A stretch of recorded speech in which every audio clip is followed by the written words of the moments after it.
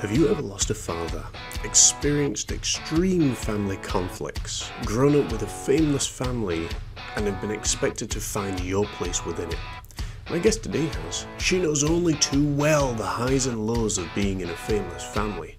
Today, Georgia Smith will join me in this no holds barred shoot interview that promises to leave no subject undiscussed. All that and so much more on today's episode of the Mind, Body and Soul podcast with John Morris. Welcome to the Mind, Body and Soul podcast with John Morris. Inspiring, motivating, and educating you in finding balance in the craziness of day to day life. Learn from and listen to a man who has a wealth of life experience, from business to bodybuilding, artist to author, and has learned to deal with his own physical and mental wellness. But that's not all. Each week, John interviews and picks the minds of special guests from all around the world and from all walks of life. From actors to authors, wrestlers to warriors, business owners to life coaches, and so much more. Welcome to today's episode of the Mind, Body, and Soul Podcast with John Morris.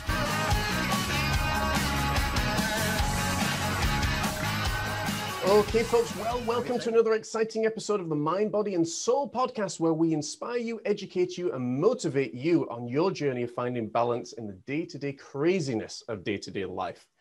I am a, your host, as always, John Morris, and today I'm really, really thrilled and excited because my special guest today is a lady of many, many talents, from acting to modeling to appearing on TV and radio shows, literally all over the world. And we're really excited that she's given up the time to really be able to do an extended edition, in depth episode of the Mind, Body, and Soul podcast.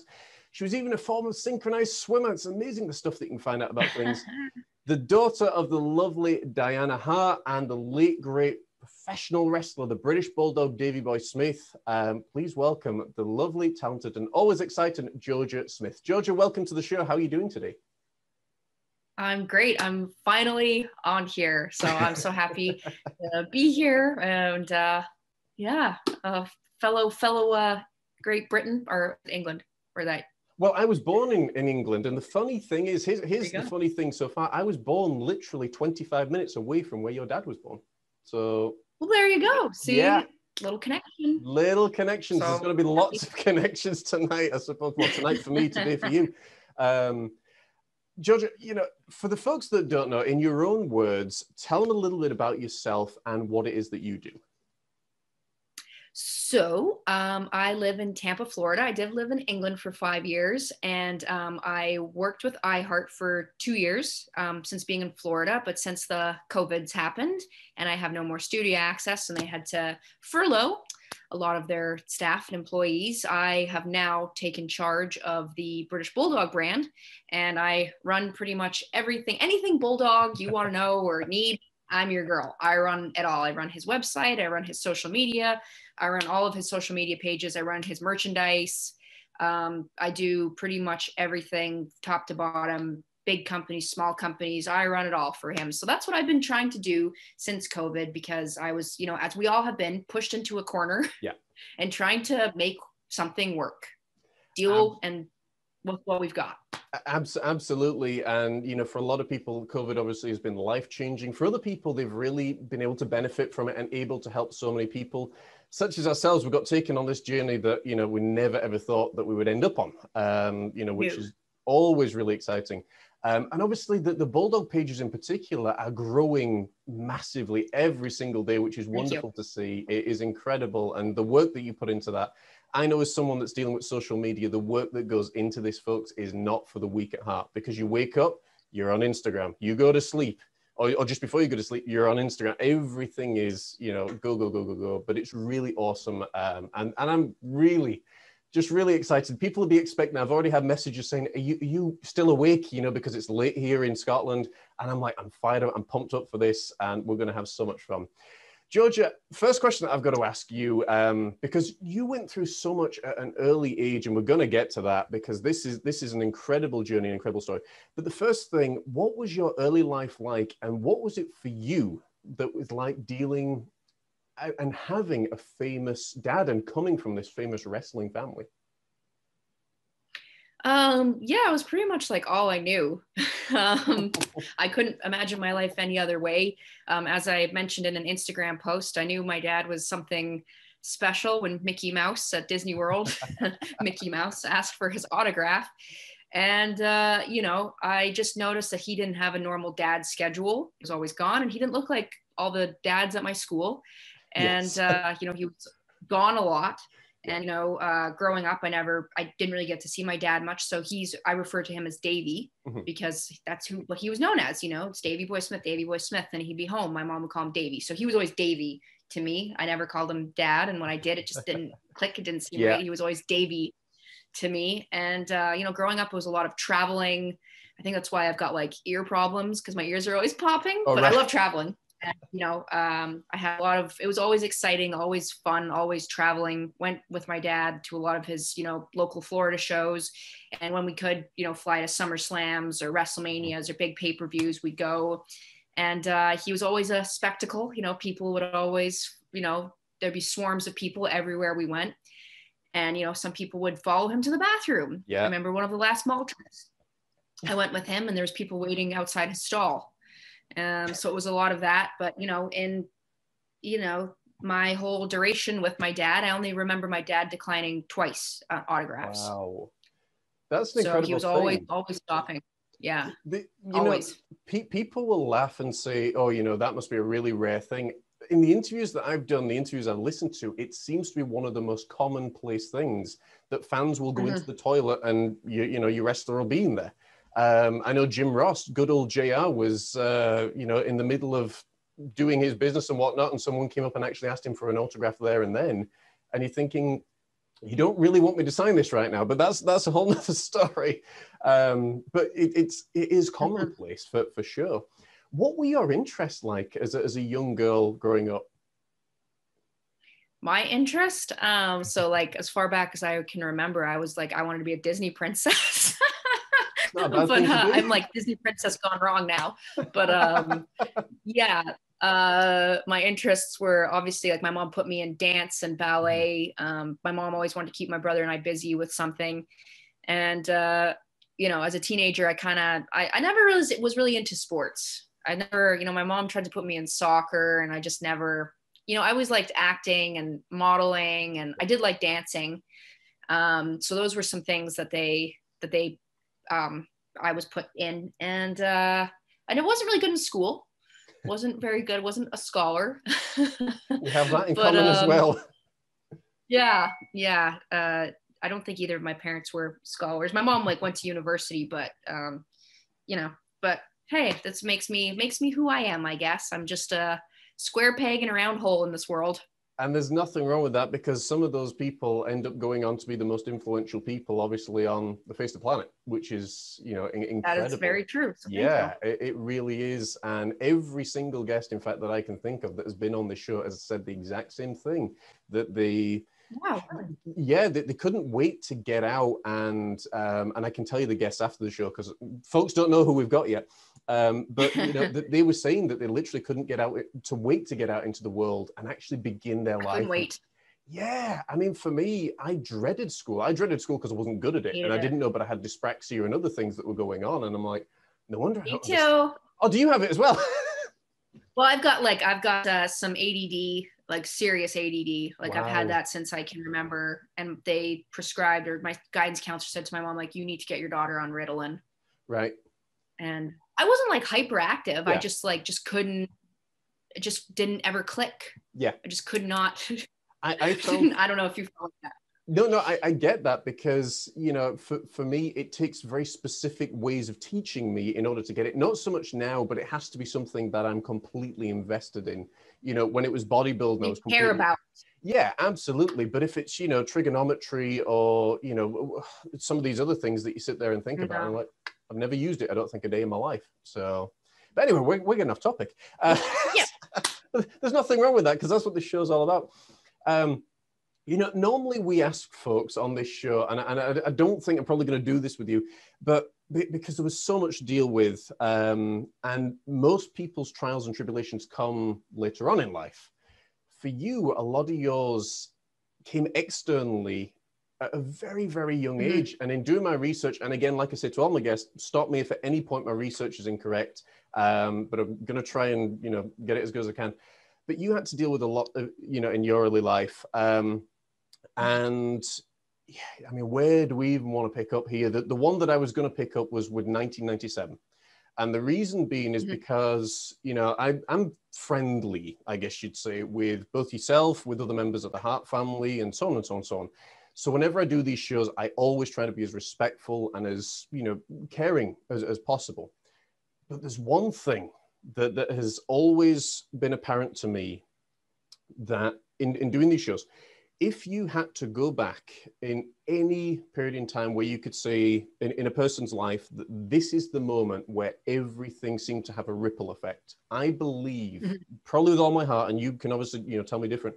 1997, particularly for, for for the Smith family, for the Hart family, was the the time that it seemed to cause this ripple effect. W- would you agree with that? 100%. Okay. Yep, that's when everything like just went phew, I'm, glad, I'm glad you said that because it means I was, I was at least right on the money and it makes me feel better. No, you're, you're correct. Yeah. Um, okay, so so to to kind of set the stage for our audience because they're not necessarily wrestling fans or, or things like that.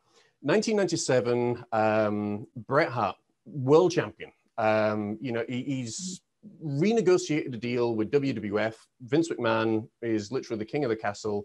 He is the the top dog, the head honcho, and basically throughout this, I think that was 96 actually, that he'd signed the deal in 1997, sort of midway through, Vince comes to Bret and says, look, I don't think we can pay you anymore, you know, or, or I don't want to honor, honor, honor this agreement. There's been lots of stories, lots of documentaries and everything that's been written about this specific, specific topic. Yes. And I'm not going to go into it. I encourage you all to check it out if you haven't already, because the story behind it in, in a world that's meant to be fictitious is, is as real as real could be we get to um, an event called the Survivor Series, which happened in uh, Montreal, Quebec, Canada, uh, in 1997. And uh, basically, there was a disagreement between Bret and Vince, and Vince was wanting to keep his title and wanting to protect his company.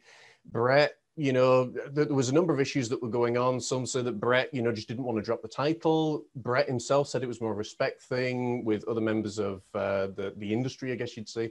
The bottom line was uh, at the Survivor Series, Vince did what he felt he needed to do, and he got the belt off Bret.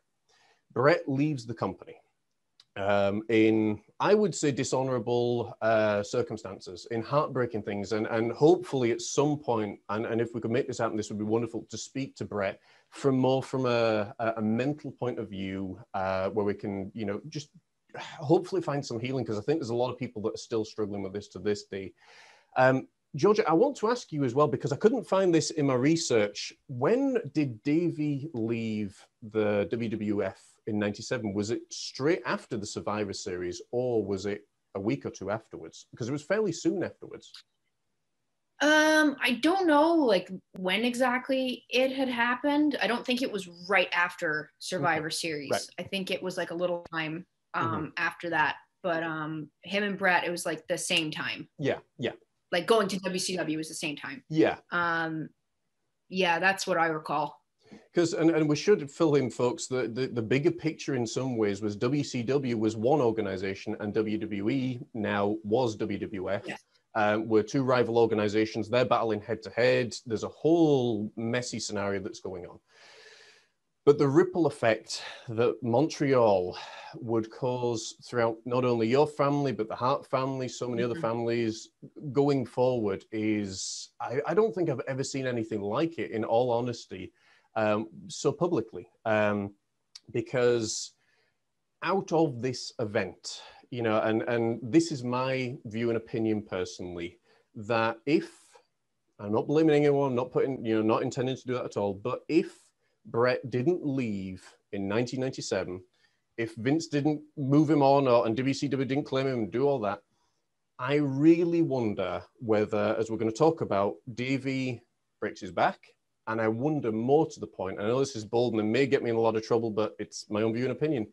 I honestly don't believe Owen dies, which is your uncle. Owen dies at the Kemper Arena um, from falling from the ceiling. Um, and the, the re- there's tons of reasons and things like that because I think if, if Bret had still been there, there, there, would have been you know a part where he's saying, "Oh, and you know, don't don't go," and the same with Davey. We'll, we'll never know. The reality is, um, Owen is left in the WWE by himself. Bret, Jim, and Davey go off to WCW. And obviously, as we're going to pick up now from your perspective, what was that like for you? Because you were what, maybe nine? Uh, yeah, in fact, you would have been nine at that time. So, you know, again, we're going back, um, you know, a, you know, a, a, fair, a fair, amount of time um, to the point mm-hmm. you're a young girl, and you're like, okay, Daddy's now left WWE and he's gone to WCW. What was going through your head at that point?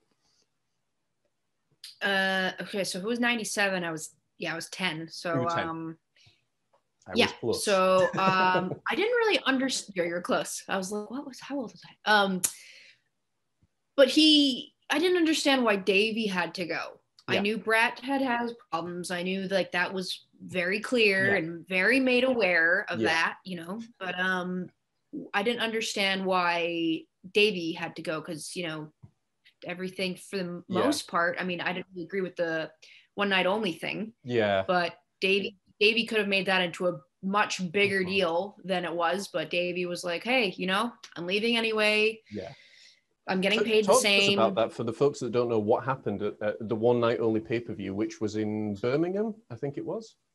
It was in Birmingham, yeah. So it was uh, a little after Princess Diana died, mm-hmm. and uh, they did the show. And they prior to that, they had made the European title yeah. for Vince had made it for my dad. Mm-hmm. So um, this match against Davey and uh, Shawn Michaels was at one night only in September, Birmingham, 1997. And from what I was aware of, Davey was supposed to win that match. You know, his sister Tracy, uh, mm-hmm. uh, God yeah. bless rest her soul, it was her, the anniversary of her death a couple days ago. But his tw- 25, 24 year old sister at the time. She was battling really bad cancer and she had taken him down to the ring. And it was just a, a really, it could have been a really nice night. Yeah.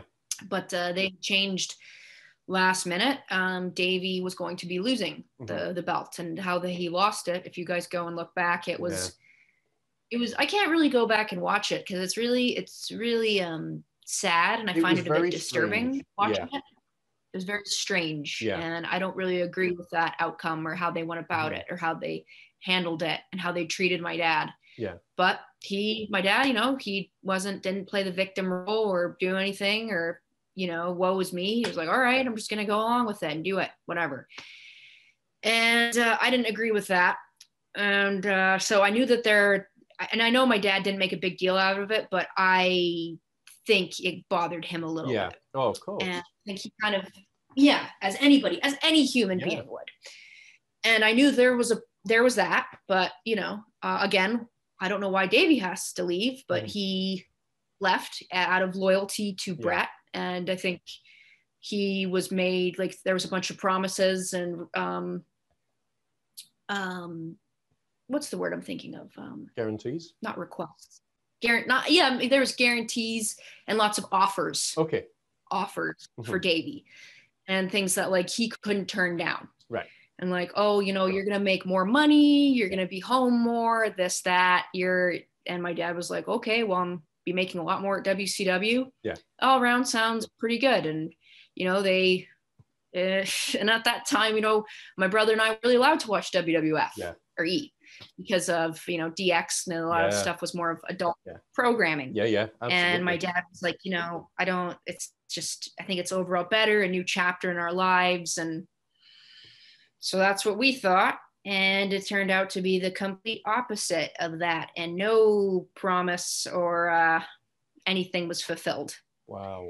I mean, uh, so I mean, I was just going to say to, to tell folks as well, you know, um, and I think Shawn, in particular, referring to Shawn Michaels, you know, has on numerous occasions came out and said, yeah, you know, you know, the, there was elements of things that we did on TV that really affected the generation. Because my wife and I, you know, we went to school ar- mm-hmm. around this time when everybody's doing the crotch chop and telling people to suck it and putting up the middle finger and whatnot. And that was, I, I, I don't know, and maybe they did. Um, I cannot speak for them, obviously, but maybe they did not know the lengths and the extent that their influence. I don't think actually, Yeah, because I mean, would you really sure. want you know children to be watching this, but their defense was well, just change the channel. Do you, your son or daughter, struggle with direction, clarity, and purpose? Maybe you struggle with anxiety. Maybe you struggle with self esteem or confidence issues. Maybe you've got great ideas, but you've no idea how to get from where you are to where you want to be. Don't worry, you're not alone. People around the world struggle with these issues. Hi there, I'm John Morris. I'm the coach to the creative mind and I'm also a psychologist in training. For the last two decades, I've worked with people from all walks of life and all over the world, all with a wide variety of issues. I've worked with people from youth groups to adult education to people dealing with day-to-day living issues. And each one of them has an amazing story to tell and we've helped them get clear as to where they are and clear as to where they want to be. And I want to help you. Oh, Unlike a lot of life coaches and therapists that like to drag things on and leave you dangling on the carrot, I want to make sure that each and every single time that we meet and have a life coaching session together, that you never ever leave saying, man, that was a waste of time, or I didn't get the value that I desired. I am committed to making sure that each and every single time we meet, you are one step closer by the time we finish to a goal that you have in mind. So why should you work with me? Well, let me tell you, as I said, I'm committed to making sure that I provide value, that I provide something that's step by step and easy to follow. I'm also a fantastic listener. I've been blessed with the gift of listening, and I love to listen to people, their stories, their, their dreams, their desires, because there's nothing more energetic and passionate to me than when a client gets their first desire, or they get that goal, or they hit that big target, or whatever it might be. And also, as a trifecta, I'm committed to you to helping you take action. So whether or not it be deciding on the university you want to go to, deciding on the course that you want to be at, helping you get excited and passionate about your work environment, whatever it might be, I am committed to helping that happen. I'm also committed if you need to shed some pounds, if you need to gain some muscle mass, if you need to, I don't know, develop your self-esteem, I'm committed to helping you take action and following a step-by-step plan of action that we can put together. But now folks, I want to tell you about the early bird special offer that we are launching right now. It is for 10 people and 10 people alone. That's right, if you are interested in having life coaching sessions with me one-on-one, -on -one, 10 people have the opportunity to do that and we're looking to help these people change their lives completely. We take ages 14 and upwards, so if you're interested in learning how to get from where you are to where you want to be, to, to really develop that passion, to live a life that you enjoy as opposed to a life that you wake up and think, ah, you know, how to develop and change your mindset from maybe a negative one to a positive one, understanding what fuels your mindset and understanding what creates the kind of life that you want to live, then get in touch with me today. I would love to hear from you. As I say, this is open only for 10 people, and once it's done, it's done. So click that box below, get in touch, let's have a conversation backwards and forwards and see if we're a fit for each other. And I look forward to working with you. Have an amazing day, folks. Take care. God bless. Yeah, and I will see you soon. Yeah, exactly. Yeah. A whole nother topic in that. Yeah, that's a whole other topic, yeah. but yeah. And at the same time, it's like what they did worked to a yeah. point. Yeah but I mean, I guess they changing. wanted, you know, it was a bit extreme. Yeah, the world was changing. And um, so yeah, my dad went to WCW and it just from the get-go, it just didn't really seem right. And yeah. like there was just really no rhyme or reason for how they did things. And they put him in some feuds that made mm-hmm. no sense and yeah. were I don't know, it just seemed like it was just chaos all the yeah. time. Yeah. And I didn't really at that that time I didn't really like watching it and like I could see my dad I don't know, like he it's not like he didn't care anymore, but like he was just like getting like more out of shape uh-huh. and just it just wasn't like when he was in WWE, he was like on point with everything. Yeah. And then whereas with WCW, it was like, oh, what's going on here? And then he broke his back and then it just got, you know, significantly worse. Yeah. I mean, touching on that, you know, again, because that's that's you know a major part, obviously, in your story, in in, uh, in Harry's story, in, in your whole family story as well. To bring up folks to speed, um, uh, George is referring to an event in WCW called War Games, and pretty much two rings are put together. And the final event of the evening is you would have two steel cages, uh, and there would be this big battle. Okay, um, putting it in the simplest form possible. Now, if I've got my information right, and I know this is something that drives probably you insane, so we are expecting a, a reaction in some ways. There was a performer for this particular event called Jim Hellwig. Most people know him as the Ultimate Warrior or Warrior. His mm-hmm. Entrance at that point in this event was set that it would be a trap door. Um, he would come up from a trap door through the ring, do his business, go back under the ring, or go back to the back. But the, the way that under the stage or under the ring stuff usually happens is the wrestler is under the under under the ring. They slide out from under the ring, they get in the ring, do the business, then either go back under the ring or go elsewhere. There are no trapdoors involved. Why there was a trapdoor involved in this, I do not know. I may be able to find out at some point with a couple of the guests that are coming up. But the the main thing is Davey is in a match, uh, and basically the ring that he is in uh, is the one with the trapdoor in. He takes a bump. Now, Georgia, I don't know whether it was the back body drop because I've watched the, the footage over and over and over again in preparation for this. I don't think I've ever watched something so intently, um, you know, for, for so many times. But I don't know whether it was the back body drop. I don't know whether it was a bump. I don't know if it was a combination of all three, four, whatever moves. But these are moves that Davey's done time and time again. Um, he lands on the trapdoor, possibly on the handle, and basically, whether or not that was the point that he broke his back, but he described it as, you know, I, I, I was in so much pain I nearly messed myself, and that yes. lets you know, folks, that if um, if you are in that much pain that you cannot control your bodily functions, there's something seriously that's gone wrong.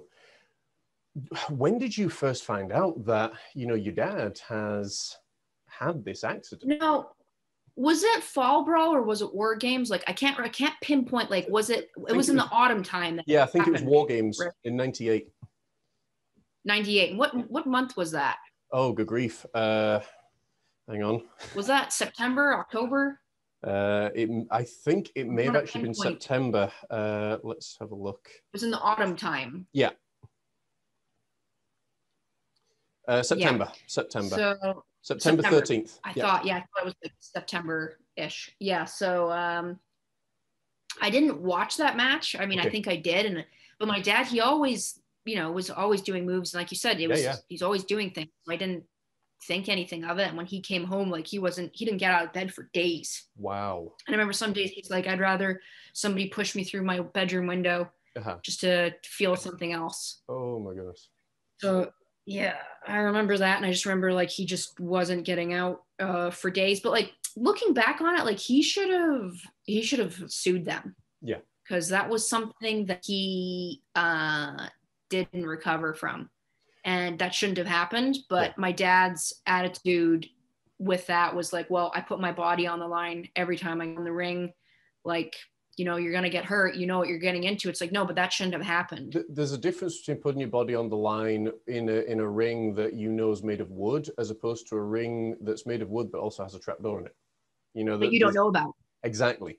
And you know where it is. Yeah e- even if you know the referee and and heck i mean you, you know you could lay the blame at anybody's door um, and, and I think it's very, it, bottom line is it was a really unfortunate thing that has just, you know, cost someone their health. Mm-hmm. And I agree with yeah. you. I think, you know, people have to stand up and say, look, whether we, you know, whether it was accidental or not, you know, regardless of the situation, you need to be able to stand up and say, look, we, we need to do something to take care of this. What kind of care was accountable. It? Well, that was it. And it is all mm-hmm. about accountability. You know, you need to own your own mistakes. Um, what mm-hmm. was uh, I suppose, was there any care that was given from WCW when your dad none?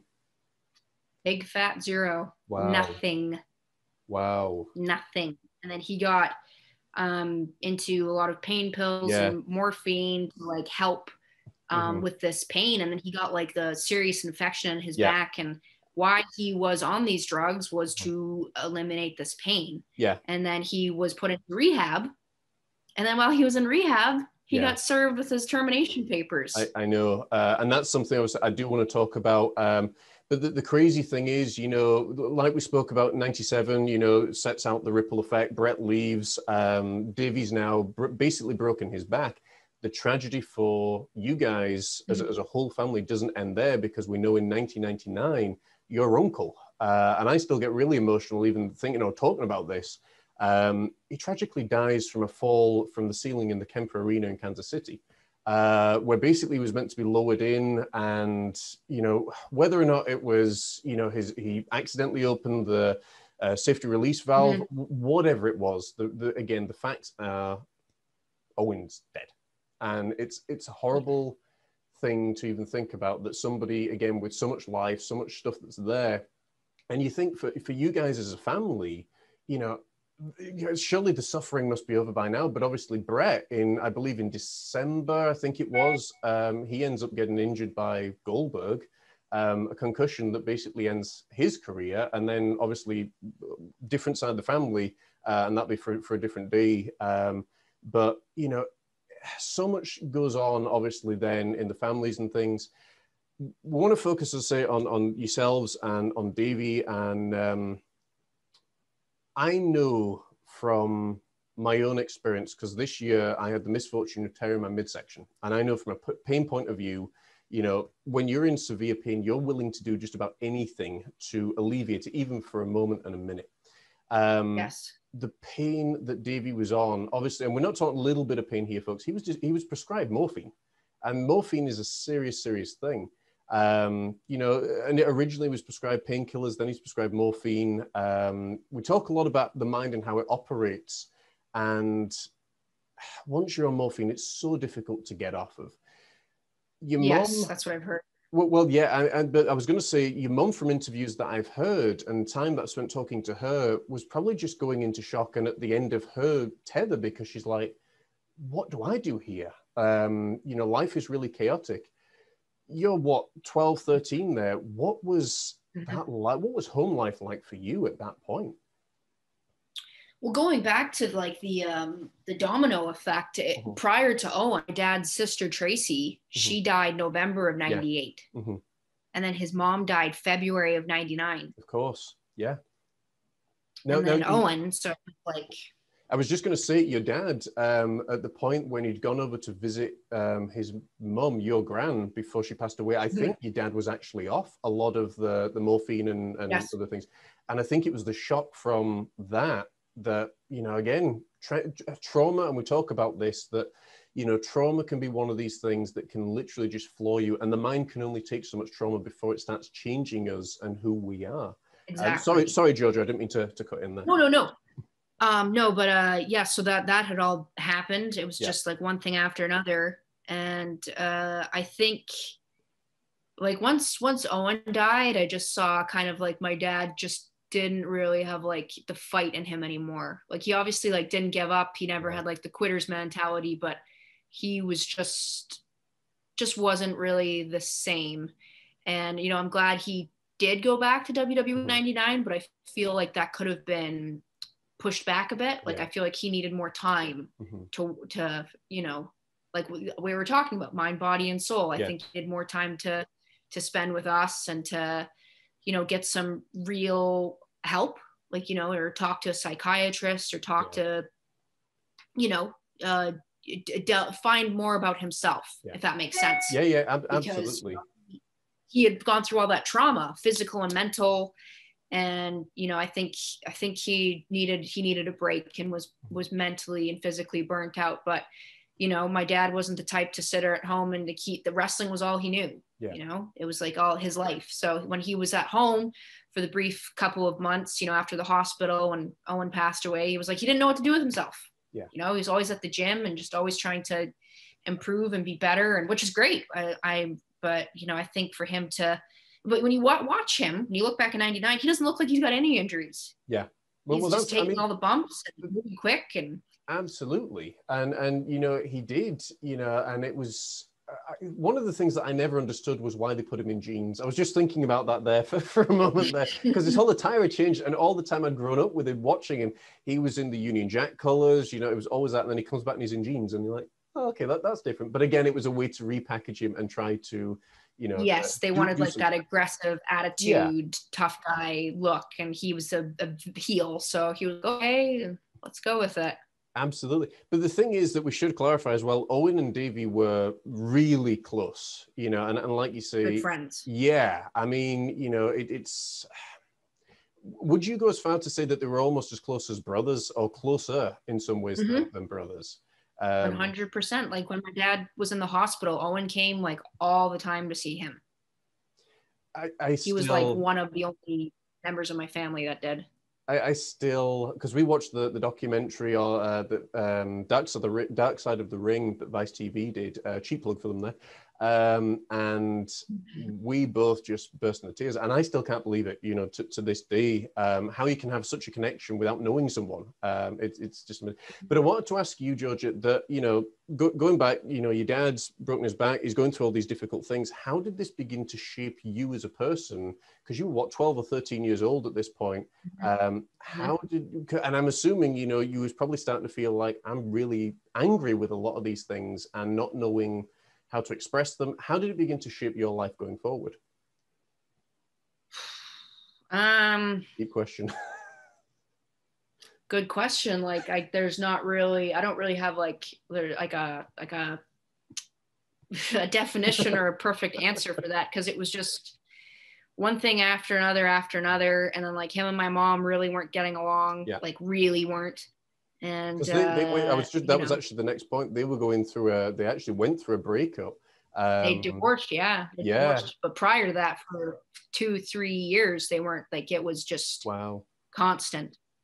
So uh, there was that, and then having to go to school with this, of course, and uh, you know, there was it was a uh, it was really really difficult, and I think I have uh, some issues to this mm-hmm. day unresolved. I think you know yeah. we all need therapy. Uh, like I think people, we all have our our own struggles and problems, but yeah, um, it's definitely you know I've got really bad anxiety and mm-hmm. like little things will trigger me, and I'm like, where did it come from? And it's like it'll be maybe stem from something that I saw, but um, you know, I uh, I had my dad, and I I was really close with my dad, and. I was just like, you know, just carry on, just let's go on with it, let's get on with it, and didn't it wasn't until he died that it was like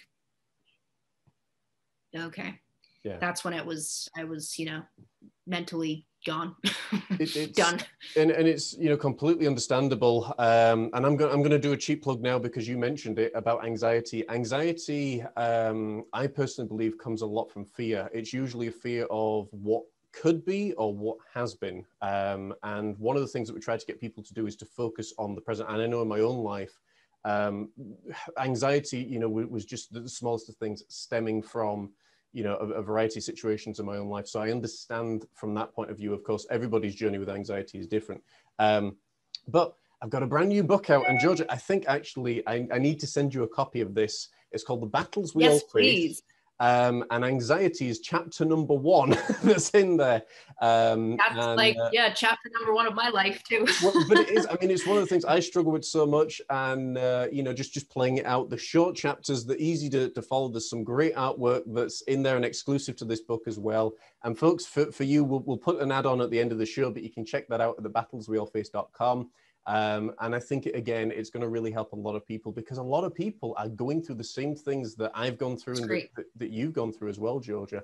Um, you mentioned as well that, um, you know, when your dad passed away, and for folks, just to bring you up to speed and to keep you on with the journey, in 2002, Georgia's 14 years old. Uh, her dad tragically dies in his sleep. He's gone through struggles, he's gone through so much that's gone on. Uh, my wife has lost a father. She lost him when she was 18 years old of uh, a brain tumor. I've lost people that I've been really, really oh, close to in family. How, and, and this is, I, I don't even know if you even know how to phrase this question, but how did you even cope at this point? Or did you? Was it literally a case of waking up every morning and being like, okay, well, I'm feeling pretty rubbish right now, but, you know, was there any light at the end of the tunnel or, or anything? Because I know certainly no, for me, and I was I, yeah. I was just gonna say for, for me when I was yeah. going through those things, I was like, when does this all end? Mm-hmm. That's Sorry, ex- you're exactly right. Like, um, it was something that like it shouldn't have happened, and it happened yeah. so suddenly, mm-hmm. and it was like something I didn't believe or yeah. come to terms with to this day. It's something that like I still haven't gotten over and i've and i was i was telling this to i did another interview recently and i said like there's so many layers like some days it's like uh, you peel some days i'm okay yeah. some days i'm pissed off some days i'm mad some days i'm upset some days i just don't want to get out of bed some days i'm just like f you to everybody. Yes. And I, you know i'll take it out on people and like it's just all these different layers. And some days i'll be like it's a good day. It's yeah. all right. But you know every day it's like or there'll be a new feeling Mhm. that like i've never experienced before and I'll- it's like this dwelling anxious it's just like nonstop like that Yeah. but um you know when we had been through so much and it's like you Mhm. said like i thought okay it can only get better from Yeah. here it can only get you know we've been like we were dear god like please like okay, Yeah. i just hope like we don't have any more problems after this like we've we've had enough enough and it didn't really get better. And i feel like a few years you know from 2002 to 2005 like it's like a, a blur. A Yeah. lot of stuff i don't remember. Yeah. i've blocked out. I've, I've honestly blanked out. Yep. and um you know some people can be like well you could have had it worse or things could have been worse. Things Oh, could have been worse but things could have been a lot better Yeah, I mean the, the whole thing. I mean, I, I just want to unpack two things that you talked about there. First of all, you know, when, you're going through severe trauma, like you said, you've gone through all of this stuff. You know, at such a young age as well. You're going through whole body change and everything, which makes it even worse. Mhm. Um, you know, and for it, it's completely. I, I can't say it's completely normal, um, but it's as you know, for lack of a better phrase, it's completely normal with what you'd gone through because trauma, you know, really can just force people. Like I know when I went through it, I just wanted to sit in my dressing gown, and sometimes I would cry Mhm. for no reason. Um, you know, literally, and just uncontrollably because my brain just couldn't take any Totally. more stuff that was on. Um, and from what you were describing there, you know, I'm no physician or anything, but it, it's it's completely understandable. Um, what kind of support did you have around you at this time? Um, you just made me think of one other point. So when my dad that had happened, like you said, like I was in an awkward, you know, Mhm. awkward teenage phase. You know, I was like I was 14 going on 15, and like during all that time, I had to do my final exams, Oh, of course. and you know, wow. yeah, it was in the end of the, the year, so I had to do that and trying to focus on that. And then, well, and it wasn't like my dad was a, just a, a regular guy that died. My dad was in the spotlight, and he was Yeah. a public figure, so you know, our phones ringing off the hook. He's on the radio about it. Um, newspapers, like some really bad things that people were saying about my dad, Mhm. and having to go to school and get questioned about it. Yeah. that was really, you know, that shouldn't have happened. And uh, but yeah, I didn't, I didn't, you know, besides my family, I didn't really have anybody. But looking back, I should have, I should have maybe had seeked therapy or but it's like you're 14 15 years old i don't Yeah. know what what i could have done about it And and you again, know and with, it's with like therapy, really so I was just going to say, with therapy, you got to be really Mm. careful as well who you open up and talk to. exactly That's the danger of it. totally that's the danger of it and you know and we weren't really in a financial good financial position it's like you know you just gotta carry on with it but you know like when we are talking about like there'd be some days like you said like i'd just be waking up and just want to die Yeah. like i didn't it was like i don't want to be here anymore and you know some days i do feel like that but Yeah. um that's It- yeah. you know and and and it's it's real and it's honest because there's a lot of people uh, that have felt the same way. I know when I got back from America and things are amazing, and my best friend had basically betrayed me for money and put my entire you know life into this bed sit, and I was sitting there on the bed looking out at this window, what I call the cell, and if I could have got it open at that point, I would not be here now because I would have gone straight through it. Um, you know, and and trauma affects us in in very very different ways, and like you. I just did not want to be here for a long time. Um, and then, Mhm. you know, it, it's it's certainly doing this show. I found a lot of healing and and you know and a lot of other things as well. Um, but but like you say, you know, it, it's something when trauma hits. You know, I don't care how many plans and how many motivational things you've got. You know, it's it's difficult, and we've got to be real here, folks. Um, at what point did things even start to improve for you? Because, like you, you said, you know, in 2002, you know, obviously your dad passed away. There was a number of incidents, and a number of things which we don't have to go into if you don't want. Again, very, very sensitive and and you know careful uh, because I'm you know friendly with, with, with a lot of you. Um, you know, but there was a lot of stuff that's going on. You know, and it, it's coping and dealing with all of that. And um, I, I think for, for me in, in looking at all these things and knowing people the way that I do from, from the outside, all I could say is, you know, people don't make the best decisions when they're hurting, when they're, you know, no on painkillers, on medication, on drink, Yeah. or, or, or whatever it Totally. is, you know. And, Yeah. you know, we say things that we maybe feel at the time, but we don't necessarily mean. Um, and I don't think a person should be defined because, you know, in, in your dad's case, oh, he couldn't get off morphine. Well, he couldn't get off morphine because he had a broken back, you know, and he was in a ton of pain. And I think people forget that. Um, there was a lot of stuff that was going on. Sorry, Georgia, I'm, I'm, I'm getting off on my own, on, on very no, protective no. point of view here. but no, no, no. That things maybe started, you know, improving for you. Is there anything that you want to add? Um, and, and I'll show. Well, like in my dad's in my dad's defense, um, you know, leading up to his death, like he wasn't on anything. Yeah. Mm-hmm. And, you know, when he died, um, his uh, girlfriend at the time, she who he, you know, passed away with, she never told, contacted us to tell us what happened. Wow. To this, to the day she died, uh, you know, last January, she never contacted my brother and I to be like, wow. I'm really sorry. This is what's happened. Nothing nothing and you wonder for nothing. again not not to defend actresses or anything but you wonder really what was going through her head because there are folks and again that have done this show that have said oh people just didn't talk to, to me because i didn't know or they didn't know what to say. But no.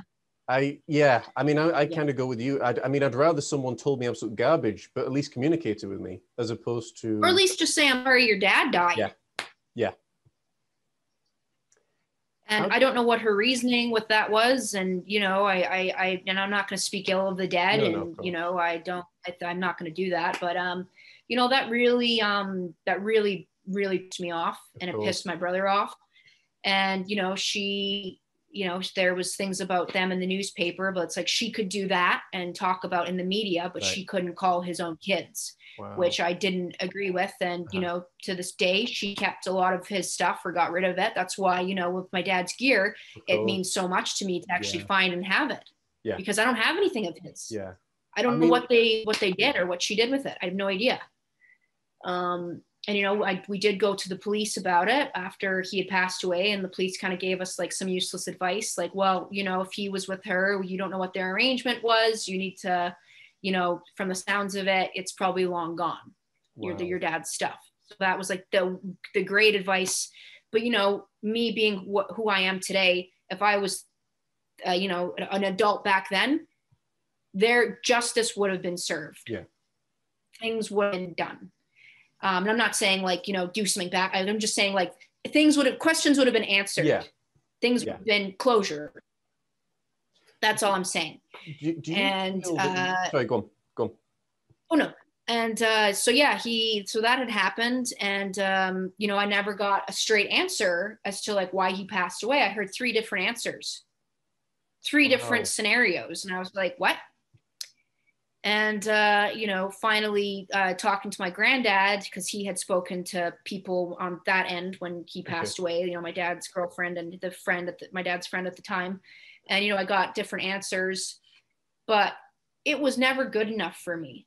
I was like i don't have a clear cut answer as to why my dad died. And my granddad did an investigation on his end and um, you know he got he got some answers that he wasn't um, happy with. Yeah. It wasn't good enough for him. It didn't make sense to why his 39 year old son died out of nowhere. And he wanted to look into it and he did. And uh, but you know i i wanted to look into it and uh, i did. And i contacted all the all, all, the investigators all the the coroner who did it and they gave me all the paperwork and i have my dad's autopsy report. Mm-hmm. and in the report he was not on anything mm-hmm. uh, there was nothing in his system and it really makes me sad and, I, and this is you know i don't want to this is kind of personal and private, but I saw uh, my dad had in his possession some bipolar medication. Okay. So he was obviously yep. depressed or something.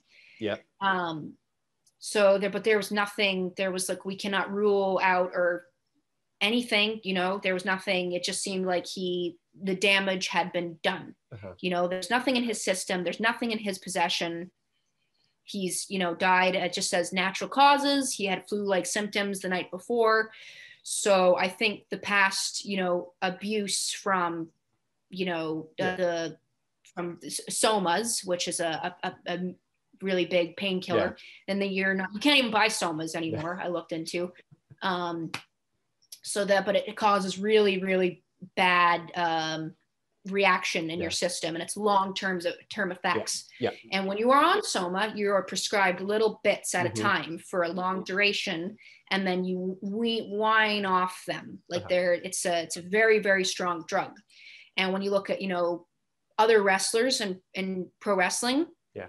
it's the same pattern Mhm. for the most part Yeah. you know you look at like umaga or you look Yeah. at eddie guerrero or you look Yeah. at and it's all like out of nowhere and it's like eddie guerrero wasn't doing anything and it's like but unfortunately that did you know when my dad was doing that for i don't know how many number of years the damage had been done and unfortunately i feel like that was the ultimate cause of his early um demise. So uh but yeah that was that was really hard to um you know uh look at and do and to um you know i would never wish that upon anybody to go through that process or you know but i, I found the answers that i wanted and um you know i just i i, I wanted answers and i got them.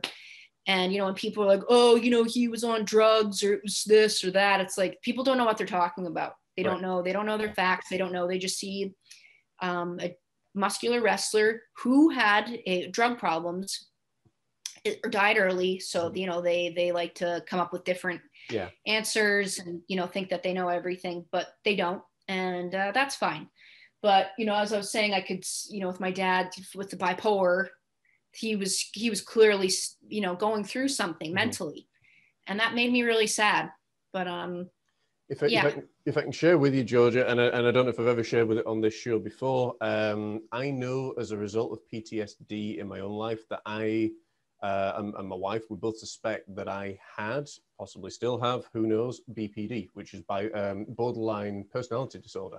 But that was as a result of the stress, as a result of other things from work and other things and bits and pieces.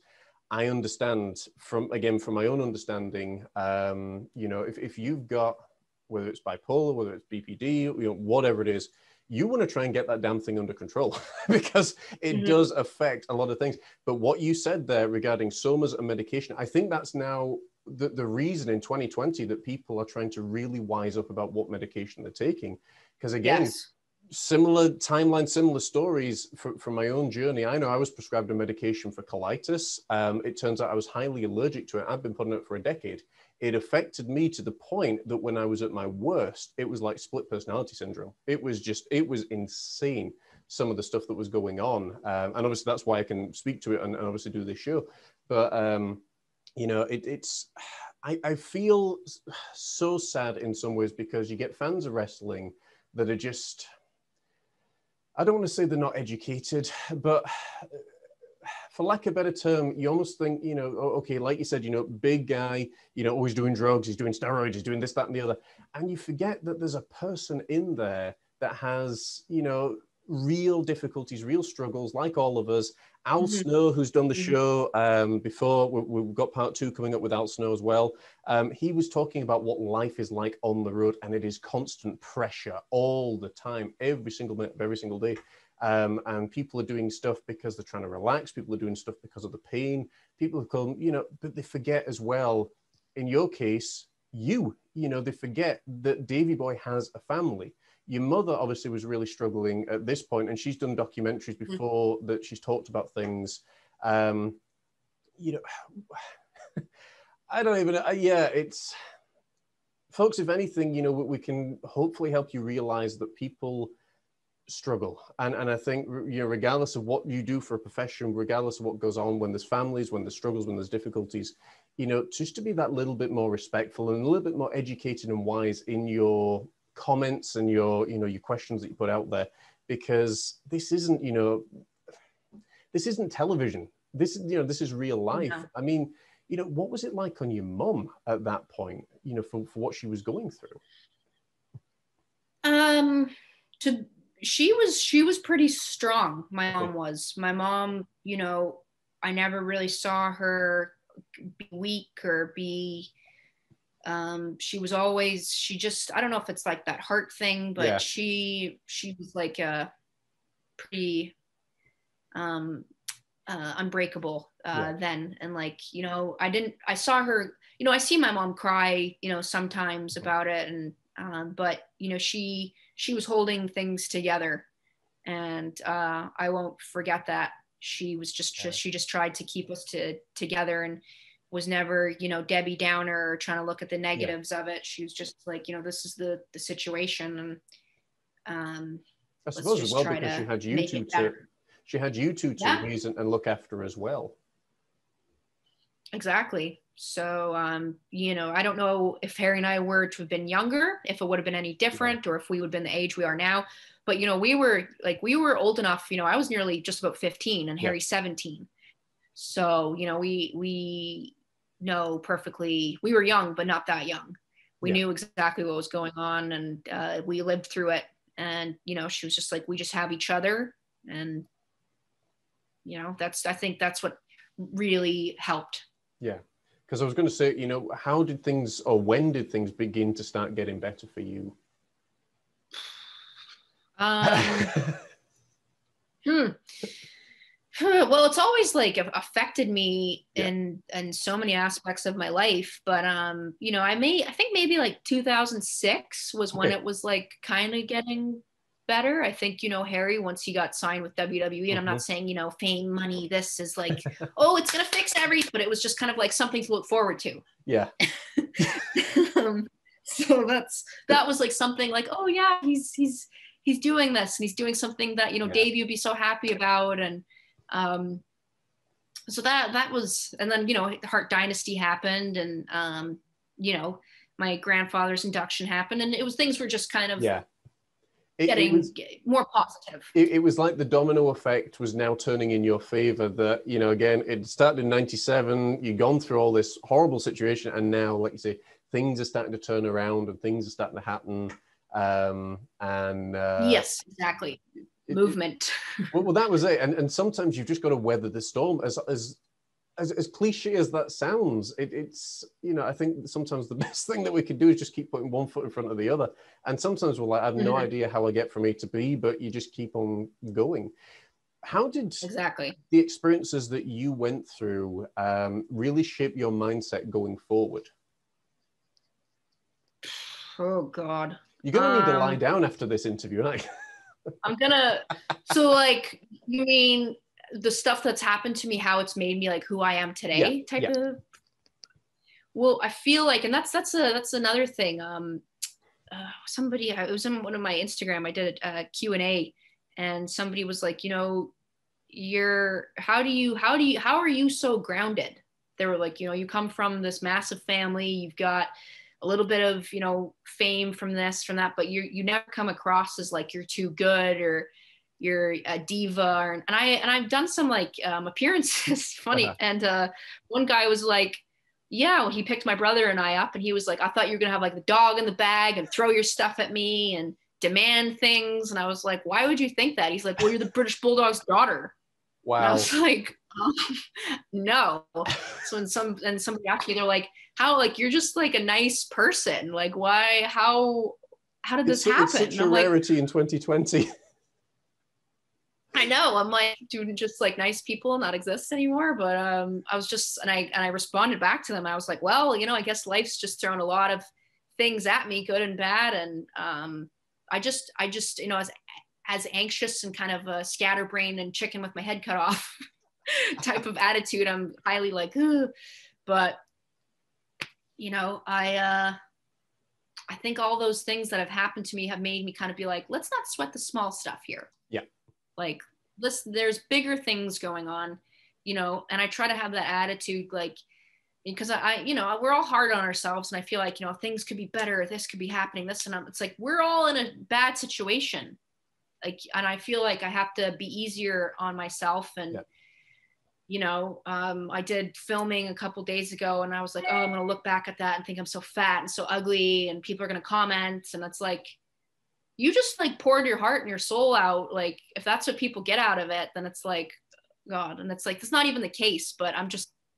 Yeah, yeah you know, it's females in general. It's just so how we are. But but, but it is. I mean, um, for, you know, for a lot of females, like they say, it, it's it's weight issues. It's how they look. For guys, you know, it was certainly for me for a long time in bodybuilding. It was you know how big the muscles get, how you know how much fat can you drop, how you know how can you do this, how can you, and the whole thing of body image now, um, you know that that's I don't know. I mean, I, I, see a lot of people that go through, you know, health issues, whether it be colitis, whether it be physical issues, whatever it is, and they're, you know, they're trying the best and the same, but I'll never look like so and so. And I keep saying it's okay. You look like you, and that's okay, mm-hmm. you know, to, to, be like that. Um, but we do. I mean, sometimes we, we look in the mirror and we're like, nah. I, I honestly, I don't do it so much now, um, and I don't know if so much just went on in my head that I was like, ah, does it does it matter anymore? You know, I'm now in my thirties, I find it easier to put on muscle, but I'm just like I'm more, I'm more bothered, certainly from a colitis point of view, of I just want to stay healthy more than anything else. Exactly. Um, and the, the crazy thing is, like you were saying with the small things, we're so busy watching for these big, you know, uh, I, I, know we were laughing because I was watching Indiana Jones the other night and we were laughing about that. But the giant boulder that comes out in Indiana Jones, we're watching for those, but we sometimes miss the little pebbles that, that are going to trip us up. And uh, sometimes it can be these things. George, I, have honestly got to say, you know, many people that have been through your uh, journey, through your story, you know, would have given up and called it quits, you know, and just like, I can't deal with this anymore. You kept going. And a lot of people say, oh, wow, that was amazing. That was great. I'm sure. And doing the whole mind reading things, you're like, well, in some ways, it wasn't an option. I just had to keep putting one foot in front of the other, you know. That's exactly it. It's exactly it. People often see us as heroes for going through these things and still being here. But I'm like, well, what's the alternative? you know what I mean? Yeah. Um, but you're able to be such a blessing to so many other people now because of obviously what you've gone through. Yeah. And like if I've made any difference to one person's life or anybody's life, like I'm glad, you know. Um, I was gonna say something and I forgot, but I'm, I'm sure it will come back to me. no, no, no, no, no. I was like my there was something going on in my head, but um, uh, that's what I was going to say is like as much as you know time you know when people like you know you're getting older time time you don't got time for this you know time is what heals things yeah, yeah. time is what makes things easier and makes time. things better time is what makes um, a friend of mine know what to run over his old boss anymore so there you go. Time can, as you say, you know, time can heal things. Oh yeah, he went through some tra- traumatic things. That's that's a whole other conversation. But it's true, you know, time and I think acceptance of you know what is because you know I suppose that the question that I've got now is where are you at emotionally with with just where are, you know with, with everything that's gone on. Wow. Well, my. uh my soul and my heart has pretty much as like a hacky sack. It's been like boom boom boom boom you know been like run over thrown out burned sliced up in a million pieces. Uh you know and now it's kind of like this it's put back together and it's kind of mm-hmm. looks like like a horrible rock or something but it's like hey it's still there.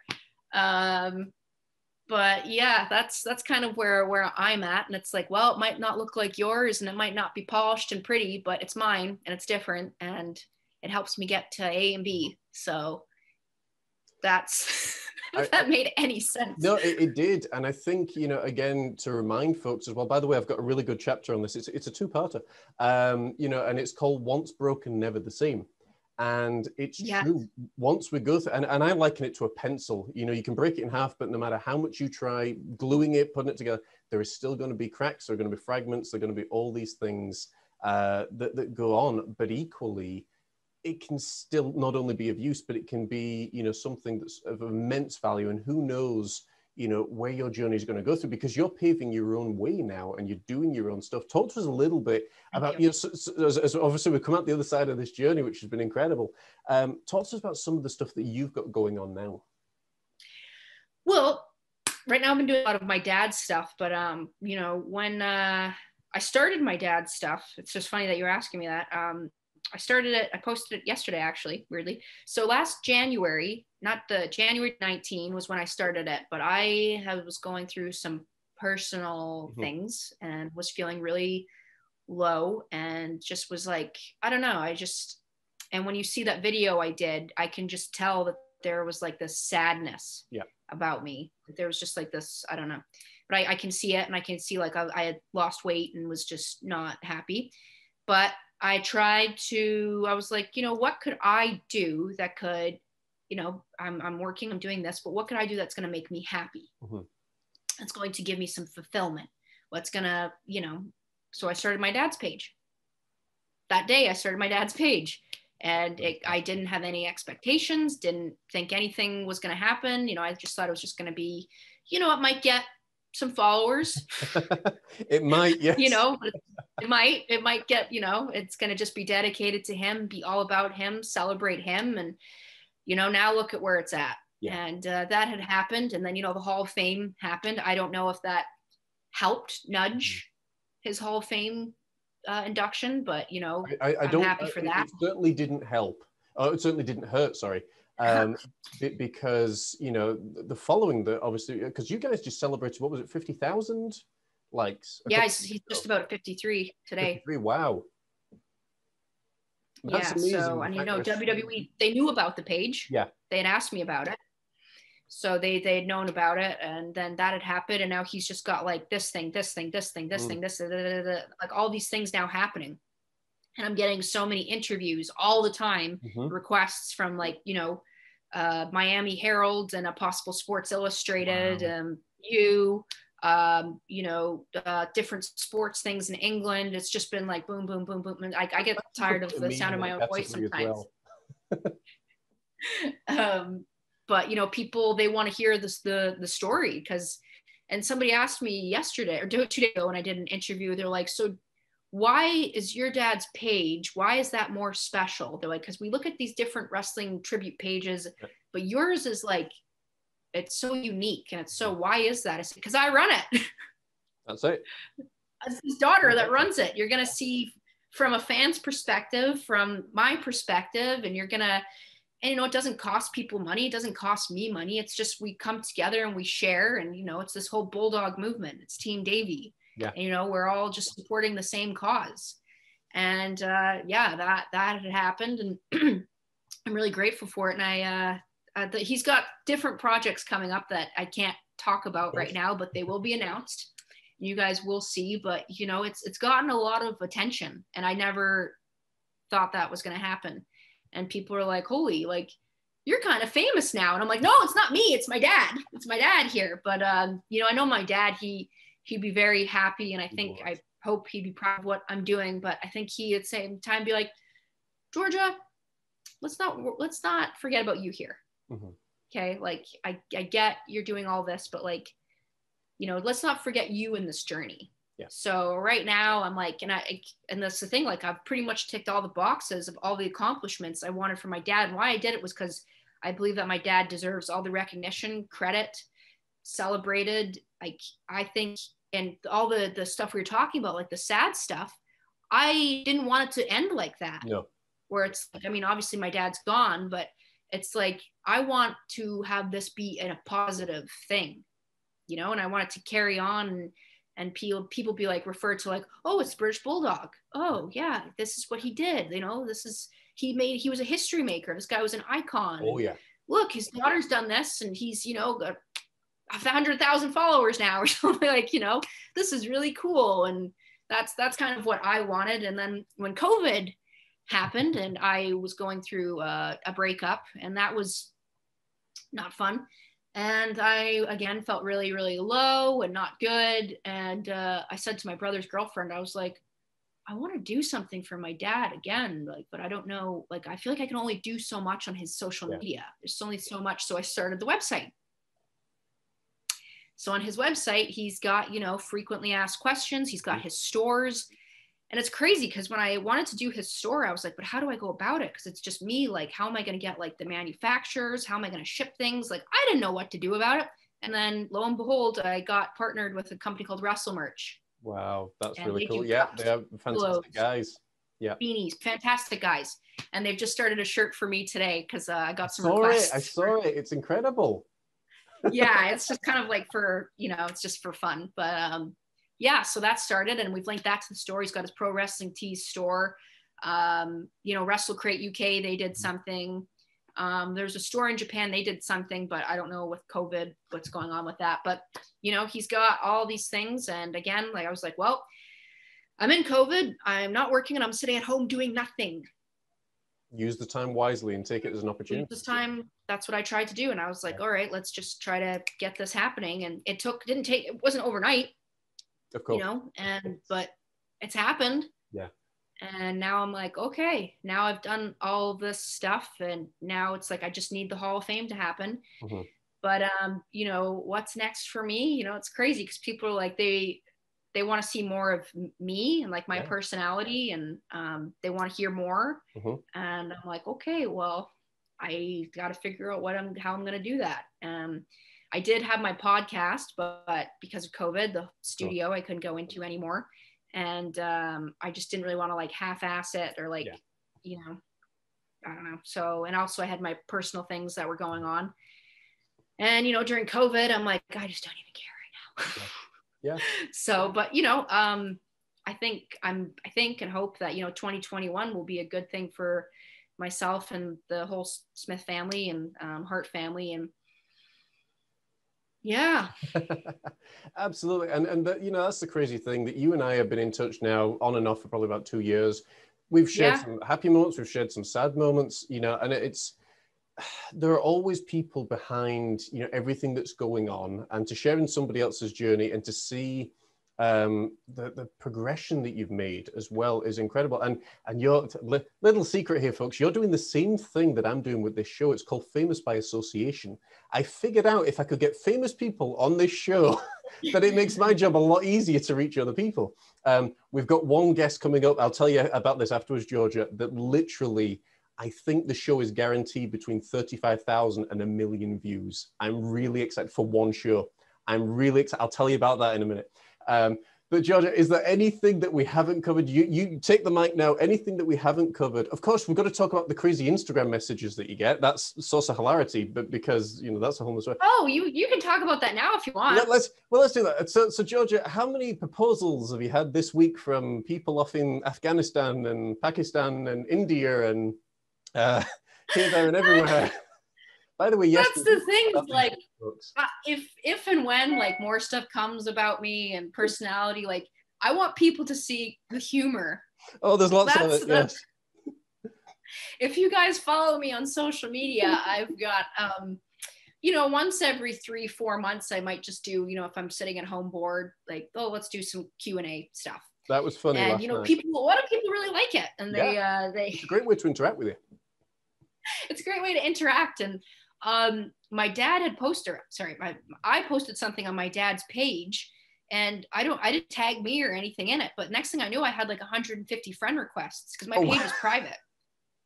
And i was like holy moly. And i had re- messages uh on in the requests that are like are you the british bulldog's daughter? Who's your dad? How do you Yeah. know british bulldog? And i'm like okay. So i did like hey guys it's davey's daughter. Yeah this is me and then i had people question question question and i was like i'm gonna just do a q&a segment and just not get it out of the and some people might be like why would you waste your time why it's like well i don't care like if people want to talk to me like that's interaction you know what i mean Absolutely. I don't, I don't, I don't mind. So, and some of them ask really good questions. You do. I, I love really good. questions. Yeah, like what were your what was your favorite uh, favorite Disney film? Um, you know, Yeah. it, it was a Like, good what was question. something that you yeah, something that you and your dad like to eat. And I was like, that's a really good question. And what uh, what Um, was the and other one that I liked? Uh, your dad's favorite kind of music or something something along those lines. That was. Mhm. it was fantastic. There was some strange ones as well. And then some of them, hmm some of them, you know, some marriage proposals, some like, well, when are we going to date? And they clearly have a wife in their picture or a significant other. And somebody like, well, are we going to have kids? Did someone um, ask out your mum as well on one of them? yeah, somebody asked out my mom. Uh, somebody else asked out my cousin, my little cousin Shelby, and I was like, I just wrote flat out no. That's just wrong. Like, that's just wrong. Um, yeah, and then my mom, and I was like, well, I hope you enjoyed my answer to that one. I was like, well, my mom's been with somebody for four years, so sorry to, for the bad news. Burst your Oh. bubble there, bud. See, um, yeah, so I, I get I get all sorts, and then that kind of somebody there's actually a wrestler in WWE. They were like, "Do you have any shirts out?" And I was like, "No." And they're like, "You should do I'm a Georgia Smith guy Mhm. shirt." And I was like, "Nobody's gonna buy that." He's like, "I'm gonna buy it." so in my in my uh, caption that I posted about the shirts, I'm like, this was suggested to me from a friend. You know who you are. And uh, yeah, because when I was posting advertising for it a couple days ago, people were like, "Oh, I thought it was out. You just oh, I thought oh, I thought it was out already." So when I posted it today, people were like, "You made my day!" Just like some, you know. But I, it's, it's really nice. But you know, it's it's kind of all comes together. You know, the people that ask the questions and you know, here's a shirt. That's one of the things we actually bonded over was the hilarity of some of these really weird messages and marriage proposals that you were getting.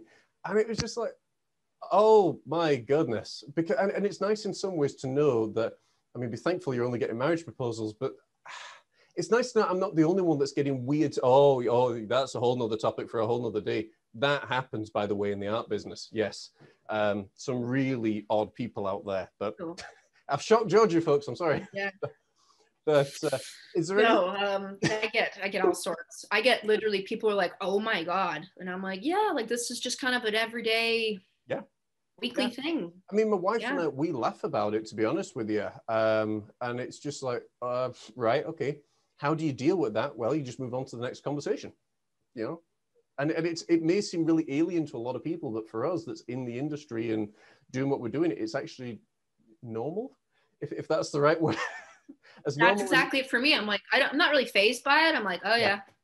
Yeah. Mm-hmm. yeah. And some people are like, oh my God, you need to block these people. And I'm like, I don't care, whatever. I mean, some some uh, occasions it's a great source of hilarity and makes me laugh, you know. And, and that's what I mean. If, it's, if it's that size, I wouldn't be bragging about it, mate. But anyway, um, but Georgia, is anything that you want to uh, touch on that we haven't touched on on today's show? We've covered so much, but there's so much more to you as well, is there's so more to me there is i just like i don't even know like where to start but um you know all i can say at this moment is you know just if you guys want to follow me my uh, instagram is at georgia j smith and you know you can keep in touch and on the pulse of what i'm doing and seeing you know what my next big thing is or what uh, random question i'm going to get next um, you can follow my dad's page. He's got Instagram. It's at the British Bulldog Davey Boy Smith. I know it's a long name, but that's what was available, and that's his name. And I'm on Twitter at, at Georgia Smith 87. And my dad's uh, Instagram, uh, sorry, uh, Twitter is uh, at underscore Davey Boy Smith. And his Facebook is uh, facebook.com slash Davey Boy Smith. Fantastic. And so, yeah, okay. You know, and I was just going to say, my, my hope for anybody that's watched this show today is that, you know, they remember sometimes when we're hurting and going through the valleys of life and difficulties, we can all say and do things that break us apart, that harm us personally, relationally, all the kind of stuff. Um, it doesn't mean that that's who we are. It just means this is one phase in our life that we maybe need a little bit more support. Um, and to remember mm-hmm. that it is external circumstances. It doesn't mean that you're going to be, you know, buddy buddies and always, you know, talking to each other. Um, but it does remember it does serve well to remember that you know just because this person is you know one way at one phase in the life it doesn't mean that they are for the rest of their lives um, and you know if, if it can bring a family back together through doing this show then that is a really really wonderful thing georgia have you got anything that you want to add just before we wrap up the show today i was going to say you know guys you know just during this time with everybody just have a little compassion just be a little nice. And I'm not trying to say, you know, the world's not rainbows and unicorns and lollipops, but you know, if there's something that you don't like that you see online, simply unfollow. Yeah. You know, but if you're going to go out of your way to be nasty, just remember we're all going through people are all going through our own battles and struggles including yourself. Yeah. So, you know, just be a little nicer because, you know, some people young people or people that are really sensitive or going through things, they might take that comment the wrong way or personally. Yeah. And I'm just saying, just in, in general with social media, I mean, I get I get all sorts all the time. I'm like now I'm just so immune to it that like people are just rude to me all the time, which is whatever. But I'm saying, be a little bit nicer. Yeah. Because I've seen some people that and it really really hurts them. Yeah. And I hate that. So just be just be nice have some compassion absolutely and, and i think you know that's something you know that if you get these weird marriage proposals in your case georgie you know you, have got to you've got to you know give let them down gently and and if people want to send me weird and random pictures please don't um, but uh, you know it, it's it's been an absolute blast and folks you know like we say come and follow georgia see what she's up to you know, continue following the journey as well. Um, I should say as well that the prints that we've got behind us are limited edition. There's going to be an ad up about them because we really want to celebrate. Because again, Davey Boy grew up in Leeds. I grew up in Huddersfield. It's what 30 minutes away. Um, you know, and we want to continue celebrating. And you can check them out at wrestleart.co.uk, which is a brand new plug on obviously on this show. Um, but folks, as well, if you are interested and you're struggling, you're going through difficulties, do reach out. It's really, really important that you do, you know, because what we're developing a thing called the listening ear at the moment. And it's for anybody. Basically, if you've got anxiety, if you've got struggles, if you, you know, if you've been through these traumatic experiences, like George has described, like I've described in today and in other interviews, you know, reach out because I think we live in a in a culture where people you know, a little bit nervous about reaching out, but you need to know there is support there. We're dealing with way too many uh, early endings of life and, and, from all sorts of chaotic things. And we really want to help. That's what we're doing at Mind, Body, and Soul.